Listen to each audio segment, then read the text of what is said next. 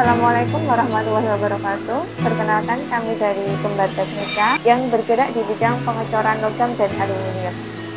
Spesialis pembuatan kursi taman dan pedestrian. Kali ini kami akan memperkenalkan produk kami yaitu kursi taman pesanan dari DLH Kota Banyumas. Untuk kursi taman ini mempunyai dimensi panjang 120 cm dengan tinggi 45 cm.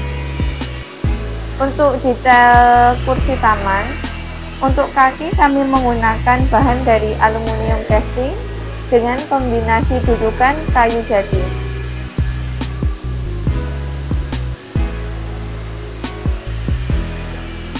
Untuk pewarnaan, kami menggunakan empat lapis yaitu pertama cat foxy yang kedua cat hitam yang ketiga kita saput menggunakan warna tembaga dengan kombinasi warna emas dan yang terakhir kami clear gloss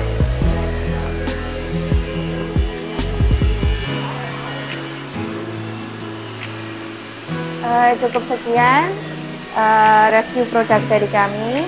Jangan lupa untuk like, comment, and subscribe channel YouTube kami agar kami lebih berinovasi kembali. Sekian, wassalamualaikum warahmatullahi wabarakatuh.